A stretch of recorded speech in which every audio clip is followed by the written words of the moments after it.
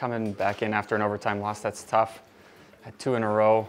I thought we played well both games and deserved to win. We were we were leading at times in both, so disappointing. But I mean, there's some there's some good teams, and we kind of took our foot off the gas a little bit. And I mean, we had our chances in overtime, and we just gotta just gotta bear down and score them.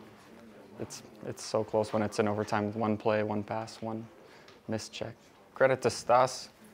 He goes out there and wins three faceoffs for us, so we controlled the play for most of overtime. I think we had three or four shots, which is usually enough to win in a in an overtime situation. But uh, their goalie made some good saves, and like I said, it comes down to one one small misstep, one small error, and it just ended up in the back of our net.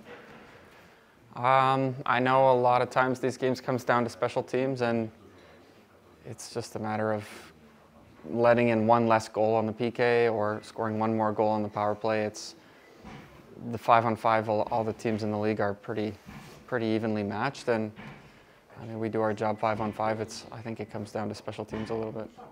Our division is so tight. We every every single point matters. I know it's you're either in eighth or you're in fifth. Like it's game to game, depending on. We're always watching the scores and trying to keep track of everything. So we are we're trying to get as many points as possible. It's because they all matter at the end of the year. When, like I said after last game, you're trying to get home ice advantage in the in the playoffs. Or I, I don't know if any other league in the world really that you have a seven-hour time change within the same league. It's very unique, but we try to stay on Minsk time as much as possible, which can can be a little weird when you're there. We end up eating dinner in the middle of the night. We have breakfast in the afternoon. We practice in the middle of the night.